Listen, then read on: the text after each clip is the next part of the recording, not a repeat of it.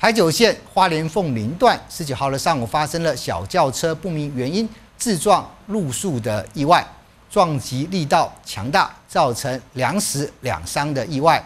至于车祸发生的原因，目前正由警方调查当中。四名伤患躺上担架，紧急送医。十九号上午十一点多，一男三女四名友人结伴要到台东游玩，却在行经凤林台九外环时，不明原因高速冲撞路树，当场酿成两死两伤的悲剧。事故现场拉起黄色封锁线，远景也在车里车外仔细拍照记录。香槟色的轿车卡在路树前，已经完全变形，车内头枕沾满血迹，掉落路面，就连车前大灯、左侧车门也统统喷飞。那现场总共有四名伤患，啊，三名受困啊，一名意识清楚，啊，前座两名。